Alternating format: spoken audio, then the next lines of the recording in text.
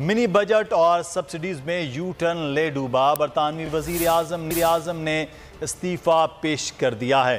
लेस्ट्रस बरतानवी तारीख की कम तरीन मुद्दत तक वज़ीर आज़म रही हैं। सुनने में आ रहा है कि वो जो ऋषि सोनक साहब हैं, वो दोबारा आ रहे हैं और एक ब्रिटिश, इंडियन ओरिजिन का बंदा आ रहा है। आप देख रहे हैं ये ये बेसिकली इतना सबसे कम जो टाइम की जो ब्रिटिश पीएम है वो ये रही हैं।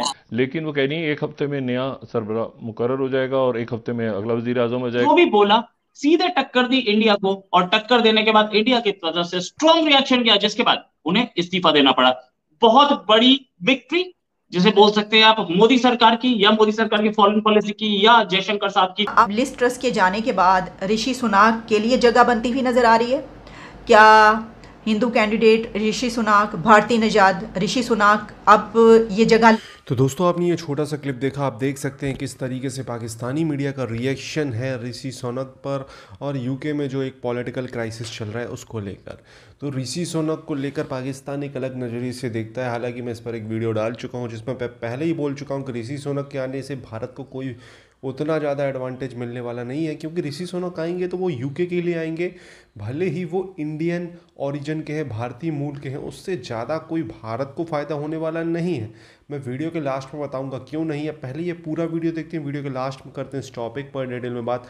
अगर आपको ये वीडियो पसंद आता है तो प्लीज़ चैनल को सब्सक्राइब करेगा वीडियो को लाइक करेगा। चाहे अदी वो तो वज़ीर अजम साहबा जो हैं मिस लिज जो हैं, वो रिज़ाइन कर गई। क्या इसमें कोई इंडिया फैक्टर भी मौजूद है? सुनने में आ रहा है कि वो जो ऋषि सोनक साहब हैं, वो दोबारा आ रहे हैं और एक ब्रिटिश इंडियन ओरिजिन का बंदा आ रहा है। आप देख रहे हैं, ये ये बेसिकली इतना सबसे कम जो टाइम की जो ब्रिटिश पीएम है, वो ये रही हैं, लिज साहबा। तो आप क्या समझते हैं कि इसमें इंडिया फैक्टर क्या है और क्या ऋषि सोनक वापस आ सकता है?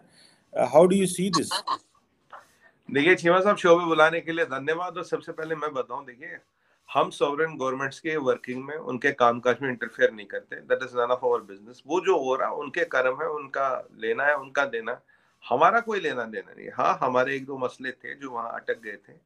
ये आपकी बात बिल्कुल सही है कि ये तैतालीस दिन चली है सर, सरकार पीएम पब की बात तैतालीस दिन जा रहा है। अब कीपिंग सरकाजम असाइड चार महीने में तीन प्राइम मिनिस्टर चार फाइनेंस मिनिस्टर और दो होम मिनिस्टर ये वहाँ का अभी हिस्ट्री रहा, ये आपका मतलब ये ऐसा रहा। जो आपने देखा ना, कई बार कहते थे ना, हमारे क्रिकेट में कि भाई पूरी की पूरी टीम आउट हो गई, दो ओवरों में वो वाली हिसाब हुआ।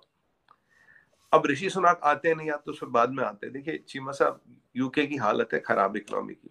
यूके ऑलरेडी रिसेशन में एस एन पी कह चुका है। मैं आपको शुरू से प्रेडिक्ट कर रहा था यूरोप रिसेशन में जाएगा, सबसे पहले यूके जाएगा।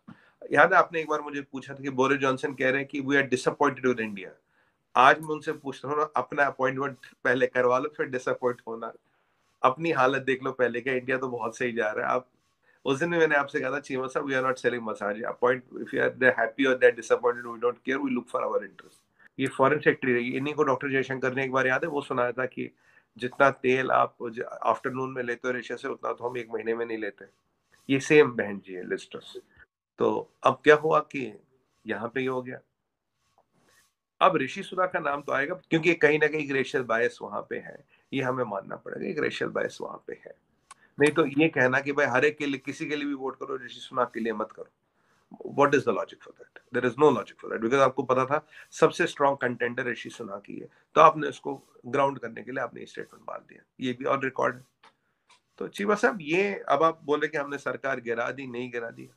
हाँ सरकार गिरने के आसपास हम कारण ज़रूर है पर हमने गिराई कुछ नहीं हमने किसी को कुछ नहीं बोला कुछ नहीं करते we don't interfere in working of sovereign governments हाँ if we become the reason that is their internal politics their debacle what can i say on that fta was a fiasco which they did and they could not afford that i always believe they cannot afford that so now whatever the implications are they are there their karma their implication what can i say अब क्या होगा जिस वक्त list trust compete कर रही थी, उसी वक्त उनके साथ एक और कैंडिडेट ऋषि सुनाक, उनके साथ साथ चलते हुए बहुत आगे तक आए थे। लेकिन उसके बाद वो पीछे रह गए और लिस्ट ट्रस्ट कामयाब हो गई।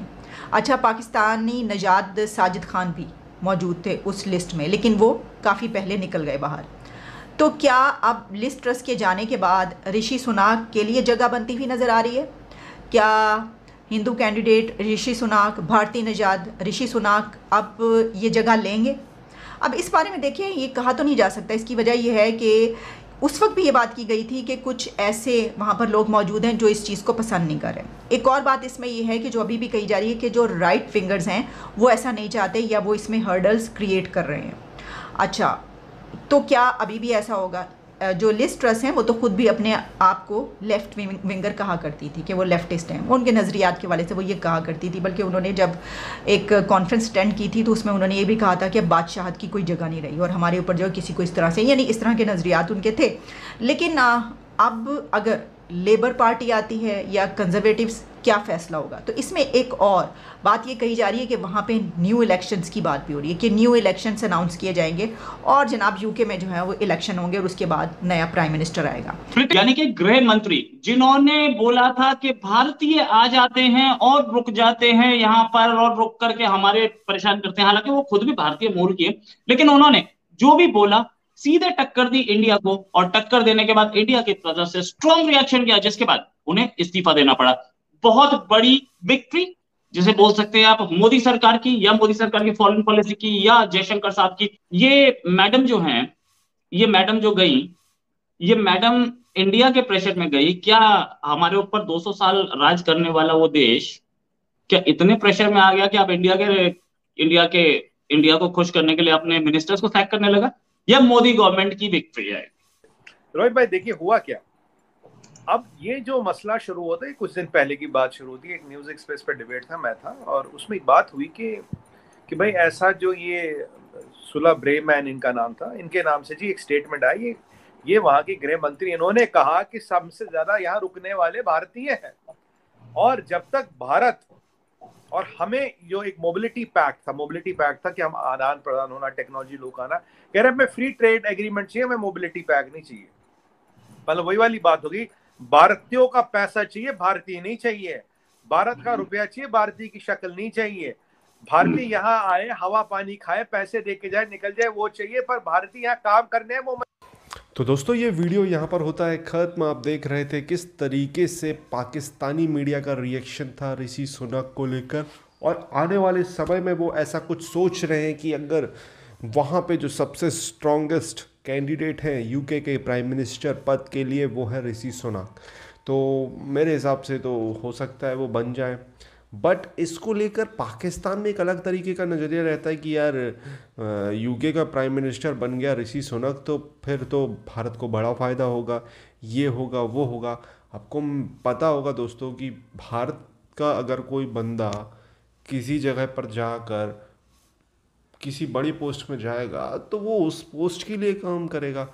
हाँ ये बात ज़रूर है कि भारत को लेकर उसके दिल में खासा अच्छा लगा होगा, लेकिन उसकी फ़र्स्ट प्रायोरिटी उसकी फ़र्स्ट रिस्पॉन्सिबिलिटी ये रहेगी कि वो वहाँ के लिए, जिस पोस्ट के लिए बना है, वहाँ पर अपना हंड्रेड परसेंट दे, अपना कर्तव्य पूरा करे। तो ऋषि सुनक को वही करना चाहिए। ऐसा नहीं है कि भारतीय हैं तो भारतीय के लिए वो बोल दें कि आ जाओ भैया, पूरे इंडियन को वीज़ा देते हम ऐसा ये वो, ऐसा कुछ तो होने वाला है नहीं ऑब्वियसली उनका काम इंग्लैंड के इकोनॉमिकली जो पीछे गया, उसको उठाना डेवलप करना और आगे बढ़ाना, यही काम रहेगा। तो मेरे हिसाब से तो ऋषि सोनक भारत के लिए उतने फ़ायदेमंद नहीं है। हाँ बस ये है कि इंडियन बन गए, यही होगा। आपको क्या कहना है इस टॉपिक के बारे में? प्लीज़ कॉमेंट और मी राय दे चैनल को सब्सक्राइब करें वीडियो को शेयर